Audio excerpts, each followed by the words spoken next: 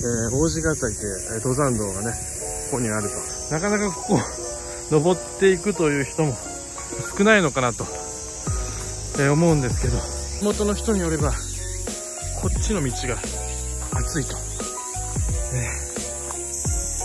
これ、廃墟なんですね。はい、この先に何かあるということで、えー、ちょっとね、見てみましょうかね。うわっびっくりした。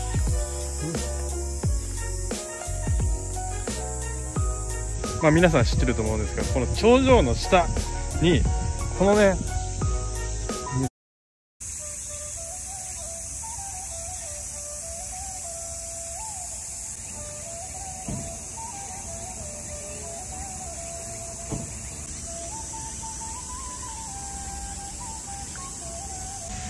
はい、皆さんこんにちは。YouTube 始まります。えー、今日はですね、えー、渋川の周辺なんですけど、まあ、渋川から結構離れたね、えー、場所に来てるんですけど、まあ、玉野市と倉敷市の、境目の、まあ、倉敷の方のエリアにいるんですけどね、まあ、今すごいね綺麗な綺麗というかまあ海水浴場ではないですけど砂浜にいるんですけどでこの前ですね。今日はこの前というか後ろですか。この後ろにね、えー、王子ヶ岳というね、えー、岡山では有名な、えー、観光スポットとなっている、え場所に、え行こうかなと思うんですけど、まあでも一般的にはみんな車に乗って、え頂上まで行くんですけど、今回はなんと、え下から、え登って、歩いて登っていこうかなと、えいうことに、えいうことをね、やろうかなと思います。というわけでね、皆さん最後まで、えよろしくお願いします。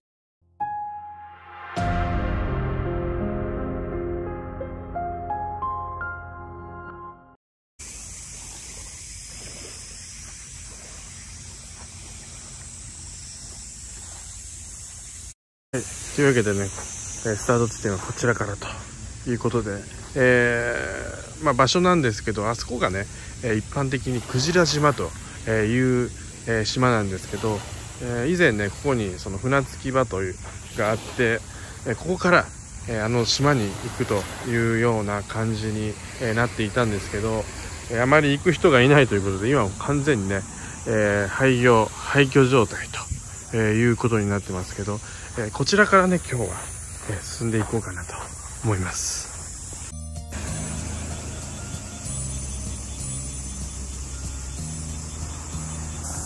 横断歩道を渡った先に、えー、王子ヶ岳登山道がねここにあると。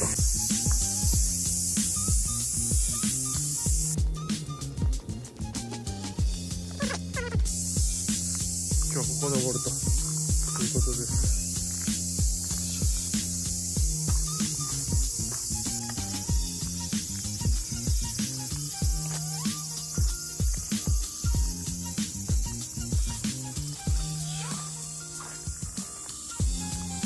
なかなかここ、登っていくという人も少ないのかなと、えー、思うんですけど、結構道がね、整備されてますね。はい。あの、草とか木で進めないかなと思ったんですけど、えー、進みやすいです。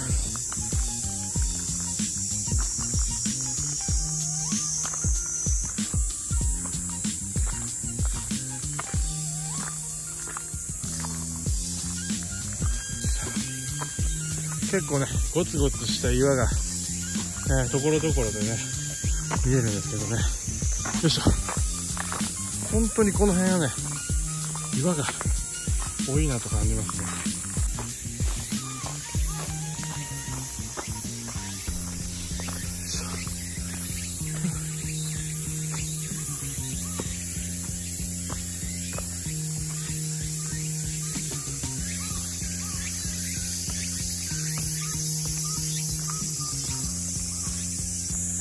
うわ。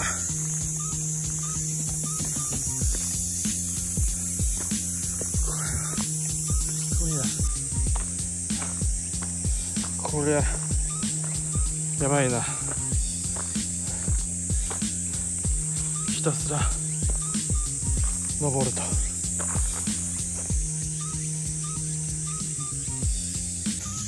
もうねクジラ島がこういうね角度で、えー、見えると。いうことで結構ね上がってきたかなと思います。先進みましょうか。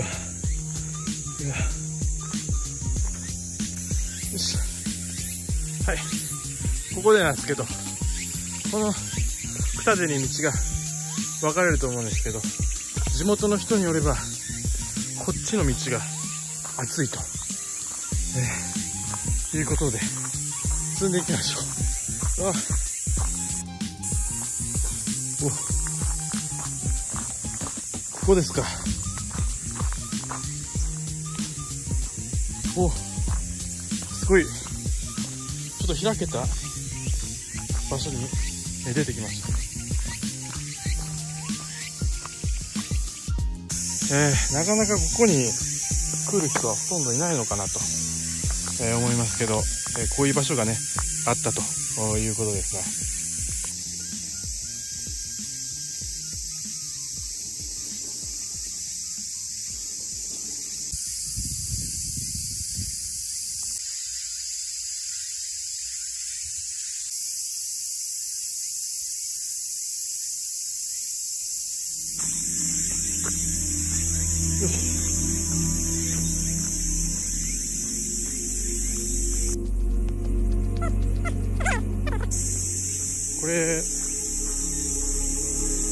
廃墟なんですね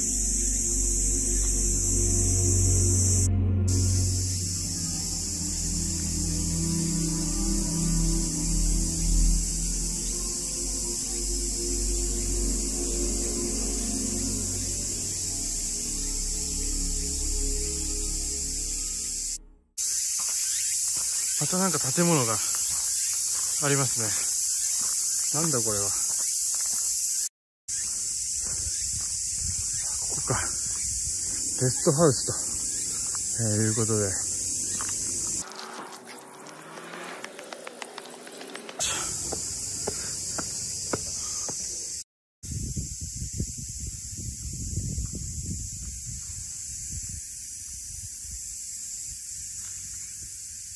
王子ヶ岳といえば、えー、ここと、えいう場所に、えこれから向かい向かおうかなと、え思います。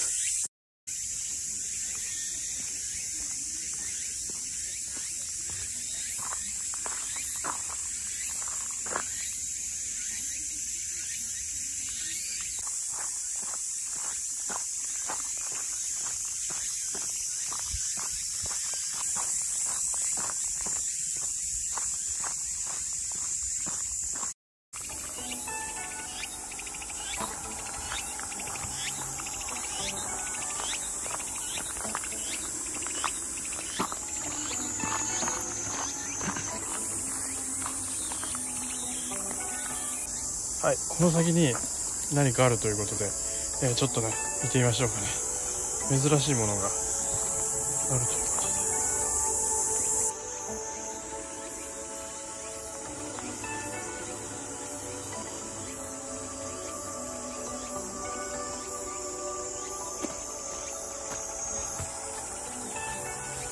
で。うわっびっくりした。うん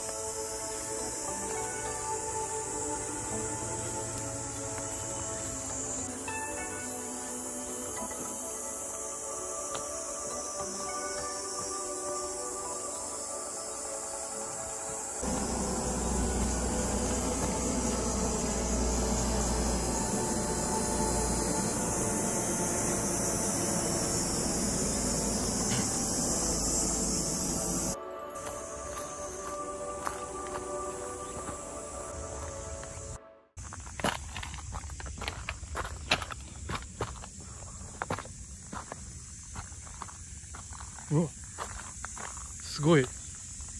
ああんなとこに壁画が。見えますかこれ。はい。ようやくねたどり着くことができました。王子ヶ岳の頂上。よりちょっと下かな、まあ、頂上はこの上なんですけどまあ皆さん知ってると思うんですけどこの頂上の下にこのね見えるかな。壁画というか絵があるんですよね。これ知ってる人はねえいるのかな？これはすごいですよ、本当に。掘って、掘ってるけど色が剥げて剥げてねあんまし見えないですけど目と、え顔の輪郭とかまあその辺は見えるんですけどすごいぜこれ。うん。こ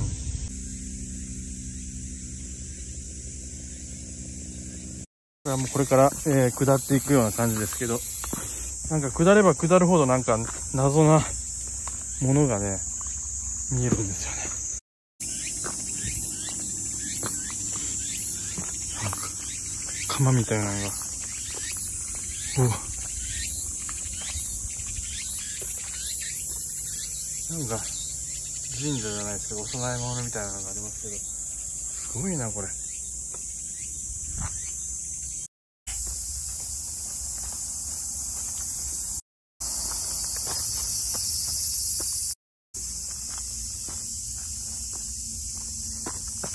これだここ。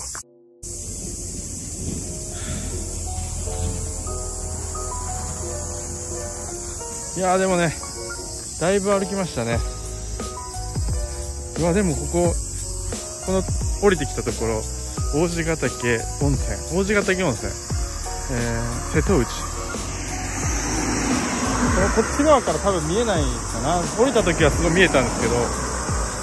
はい本題に戻ります。とというわけで、えー、登ってきたわけですけど、大体1時間ぐらいで上がって、降りるのもまあ、20分ぐらいかなと、えいう感じで、はい、というわけで今日はね、これで、えー、終わろうかなと思います。えー、とっても暑い季節だったので、え春か夏か冬、あ、夏じゃないわ、春か秋か、え冬ぐらいがちょうどいいのかなと思います。それではまた。お願いします。